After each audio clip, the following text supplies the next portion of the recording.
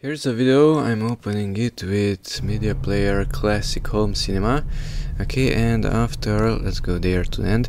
After the video finishes playing it stops. Okay and then I close it and I want to see the next one and so on. So how to make Media Player Classic Home Cinema don't stop at the end but play the next file.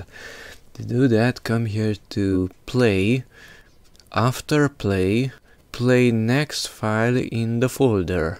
Check that one. And now if I play the video go to the end so that we don't have to wait too much. It's automatically loading the next video. Go to the end to wait less and it's playing the next video.